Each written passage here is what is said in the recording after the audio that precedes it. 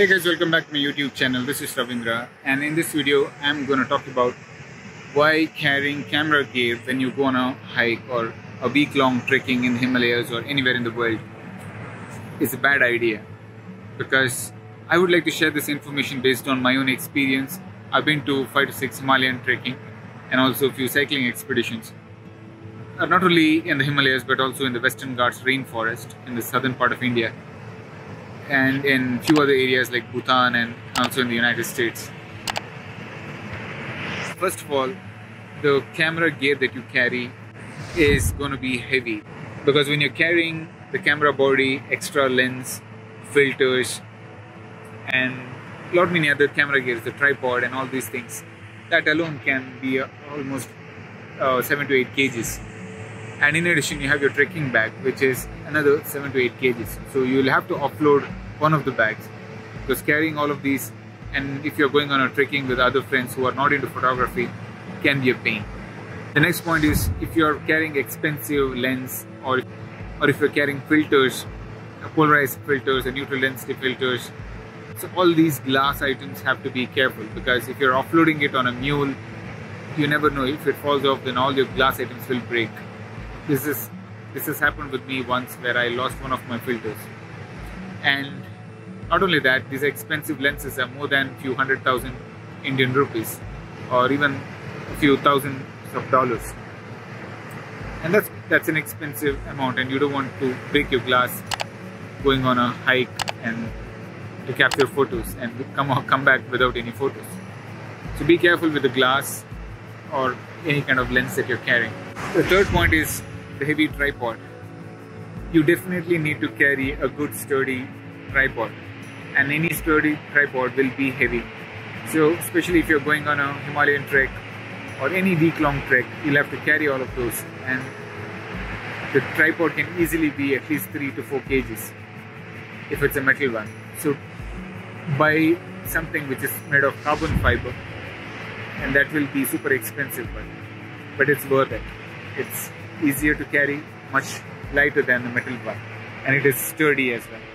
So especially if you're a landscape photographer or if you're into uh, photographing the trekking slopes, then you need to have a good quality tripod.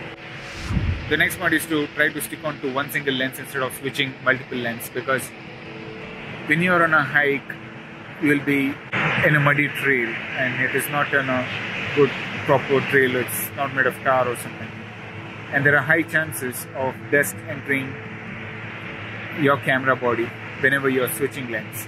And you may not notice that, but when you come back home, when you start processing your photos, that's when you can see a lot of dust particles on each and every photo. And editing each and every photo can be a pain. I had this issue when I had my previous camera, and also there was some issue with the camera body as well. Luckily, I got my camera replaced, but in spite of that, whenever I travel, I still see few things. There's a camera dust. So try to stick onto one or two lenses and do not change lens frequently. The next point is if you are on a slope somewhere hiking up in the mountains and if you experience rainfall or a snowfall, it can be extremely hard for you to protect your camera gear even though you might have some protective plastic covering for that.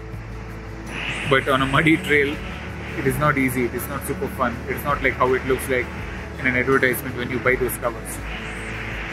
And your muddy fingers will definitely enter your camera so it's quite challenging. So be careful with your camera because the local weather is not something that you can predict especially in the mountains it is not based on any of the apps even the best of best apps cannot predict because it is very specific to the local place. The next point is to have additional power bank and batteries. I usually carry 4 to 5 batteries for my DSLR and also equal number of batteries for my action camera. So a lot of batteries but it will be a pain especially in the airport because you cannot dump all of your power bank and batteries in the check-in bag. You need to carry them all along. And opening your bag and scanning each and every thing in every airport and transfer is a pain. But then have enough battery backup because in the, up in the mountains it will be hard or else your batteries will not last even for a single day because I've seen this thing happening very frequently where people try to capture as many shots as possible on the first day and on the fourth or fifth day they will be left with no battery at all to capture any kind of photos. The next point is again coming back to the batteries where if it's cold weather then the battery will drain in no time. So make sure that you put it in a plastic cover and keep it in a warm place or maybe preferably if you have a pocket in your jacket keep it over there and keep it warm. The next point would be to keep your camera clean. I've already mentioned this point where you cannot predict the local weather and especially if you're in a hike even if you're on mountain biking or travel or anywhere the trail can be super muddy.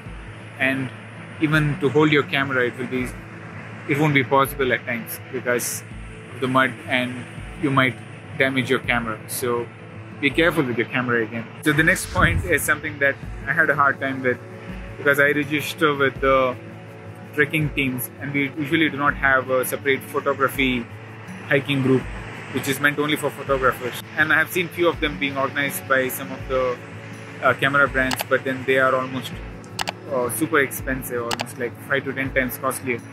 Which is not like your local hike where you just pay for the hike and food and then go. So I usually go with the hiking team, and I do not get much time to uh, capture much of a photo. So I really do not get time to place my tripod and then capture the photos because I'll be left somewhere behind while the trekking team will move further. And I don't want to get into unnecessary trouble if I cannot make it to the next camp. So if you want to photograph some amazing landscapes whenever or wherever you're traveling, go with the photography group and not with the trekking group because you can just keep capturing photos which are good enough and amazing but you want those professional kind of photos where you want to spend too much of your time only on photography then trekking teams are not the ones that you should be going with.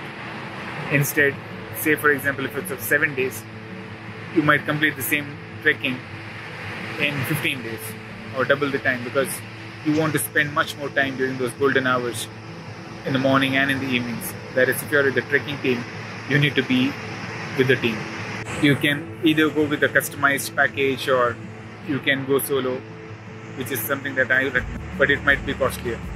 Well, the next point I would like to say is go with the lightweight camera, just like how I'm using right now. I'm using an Osmo Pocket because it can record 4K videos, and these days the cameras are small and you can record even 4K videos and capture some amazing photos. It's not a must for you to go with the red camera or an expensive camera because if you're recording for social media and for YouTube, I think your small cameras are more than enough and it can capture some real good photos and videos. Unless you're doing this for some advertising company or if there is someone paying for it. Or unless you're doing it for some professional work other than YouTube then you might want to consider carrying all those expensive and heavy camera gear. So I would highly suggest you guys to go with something simple. You might want to check the card above where I have made a separate video on what gear you need to carry if you are a YouTuber and when you're into traveling.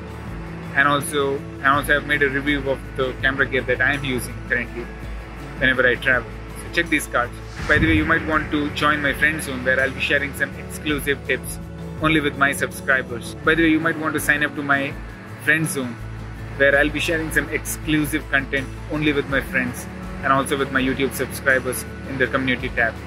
So go ahead, subscribe to my YouTube channel, sign up to my newsletter. It's a fortnightly newsletter. Stay tuned. Cheers.